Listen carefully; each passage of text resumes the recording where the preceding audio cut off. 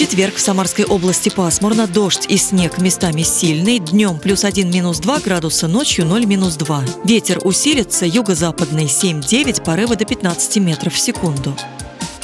В Сызрани на небе тучи, пройдет дождь. В светлое время суток плюс 1, в темное нулевая температура, западный ветер 8 метров в секунду. В Тольятти пасмурное небо, осадки в виде дождя и снега. Днем плюс 1, ночью 0 градусов. Юго-западный ветер 6 метров в секунду.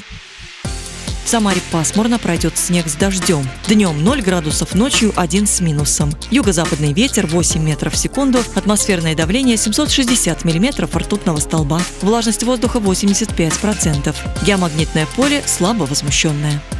Прогноз погоды предоставлен погодным порталом gismeteo.ru.